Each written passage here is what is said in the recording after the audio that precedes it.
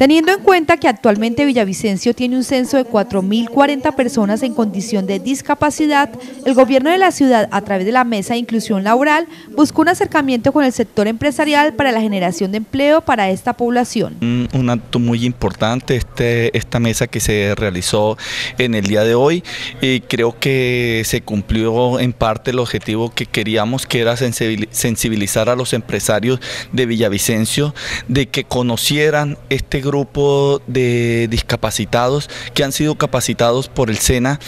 eh, algunos con convenios que se han firmado por parte de la Secretaría de Salud de la Alcaldía Municipal con, con, el SENA para capacitar a estas personas y es así como tenemos ya personal capacitado en el manejo de software y en gastronomía y panadería. El evento contó con la presencia de FENALCO, la Cámara de Comercio de Villavicencio, SODIMAC, la Secretaría de Planeación, Gestión Social, Salud y Competitividad. Para darle a conocer a estos empleadores, este personal y que hagan uso de esta mano de obra y que estos chicos, estas personas, pues están, están esperando que se les dé esa oportunidad para demostrar que pueden ser útiles a la sociedad. El funcionario también agradeció el apoyo brindado por el Servicio Nacional de Aprendizaje SENA para la capacitación de cerca de 150 personas en condición de discapacidad en temas como gastronomía y sistemas.